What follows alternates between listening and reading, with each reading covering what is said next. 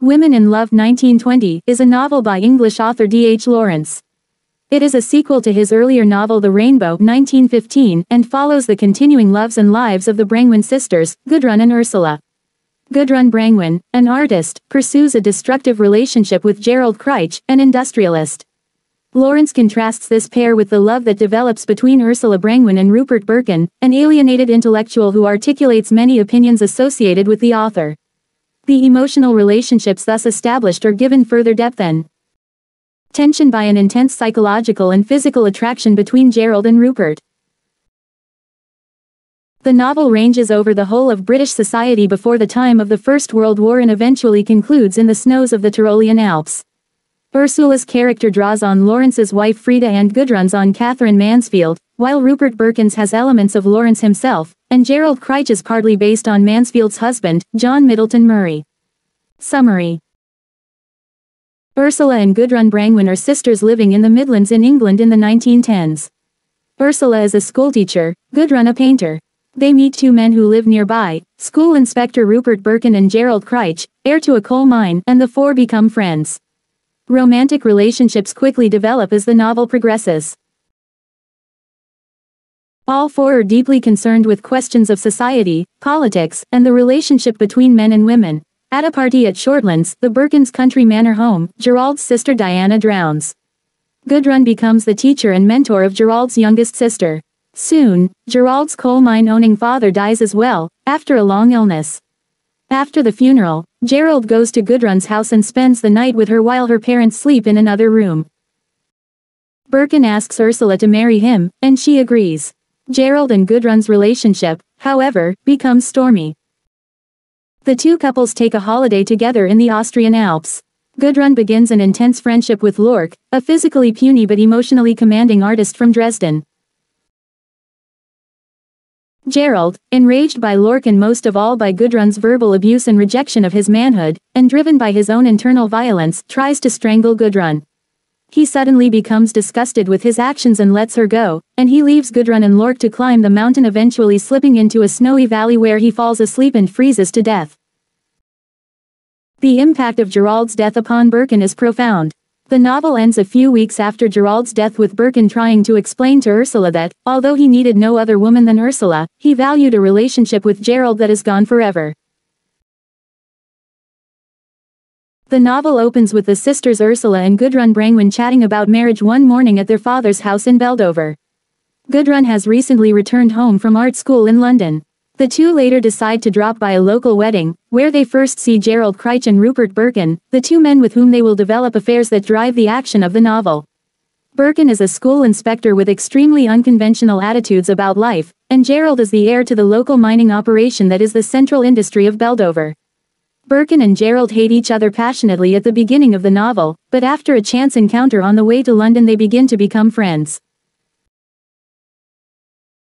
Rupert is haunted by his lingering attachment to Hermione Roddice, an aristocratic woman whom he loathes but finds difficult to abandon. Hermione wants to marry Birkin and have him dominate her completely. This situation complicates Birkin's growing fondness for Ursula, and Hermione and Ursula become enemies.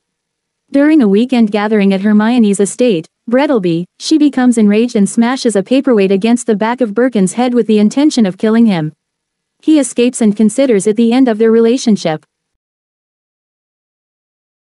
Birkin decides to move into a mill house on Willey Water Lake, and Ursula begins visiting him there. The two slowly start to fall in love. One evening, the Crich family hosts their annual public party by the lake, and the Brangwen sisters attend. They meet Gerald and Birkin there and romantic sparks fly, but this is interrupted by the tragic drowning death of Gerald's sister, Diana Crich, and a young doctor who attempts to rescue her. After the tragedy, Birkin falls ill again and Gerald visits him. He realizes that he loves Gerald, and asks him to exchange a vow of lasting commitment between them. Gerald hesitates to do so although he also loves Birkin. Varanagarakakali Sponsored by Varanagarakakali Maharamarahataha, Moteabada Sahari Kakakapakotsa Ha see more. Gerald's father Thomas Crich falls ill and is near death. He and Gerald decide to hire Gudrun to tutor Gerald's youngest sister, Winifred, in art. Gudrun begins visiting their home, Shortlands, nearly every day to teach Winifred. Mr. Crich builds an artist studio for Gudrun to use, and she and Gerald grow closer. Meanwhile, Birkin is frustrated with Ursula's indecision and leaves for a vacation in the south of France. Ursula hears nothing for some time, and one evening during a walk sees Birkin in front of his home. They talk and exchange promises of love. The next day Birkin goes to Ursula's house, intending to propose. He meets her father Tom Brangwen instead, and asks the man for his daughter's hand. Ursula is enraged and refuses him. Birkin stomps away and goes to see Gerald at Shortlands, where the two engage in a violently eroticized wrestling match. Meanwhile, after a few days Ursula decides she is deeply in love with Birkin and must fight to transform his passion to match hers. Time passes, and one afternoon Birkin surprises Ursula at her school, offering to take her on a car ride. She agrees and he gives her a gift of three rings. This leads to an argument, and Ursula abandons him on the side of the road. Only moments later she returns to make peace, and the two decide to go into town to take tea. Their bond is solidified that night when they sleep together on the ground of Sherwood Forest. Meanwhile, Gerald struggles with his father's illness, and Mr. Crich finally succumbs to death. Several nights pass, and Gerald finds himself wandering alone night, and eventually makes his way to Gudrun's house. He sneaks inside and upstairs, and wakes Gudrun up in her bedroom. He spends the night there, asleep while Gudrun watches him. After a violent argument with her father, Ursula decides to move in with Birkin. The two marry soon thereafter, and Gerald proposes a winter holiday in Europe for the two couples. He talks at length with Ursula and Birkin about the trip, hoping it will be an occasion to develop the romance between him and Gudrun. Gerald and Gudrun leave first, and stop for a night in London where Gudrun meets Gerald's former mistress Minette Darrington at the Café Pompadour. Ursula and Birkin eventually join Gerald and Gudrun at Innsbruck, a picturesque Austrian retreat town. Things are lovely at first, but soon sour. The group lodges in a small hostel outside of Innsbruck and friction develops between them, in part due to a German artist named Herr Lork who takes an interest in Gudrun.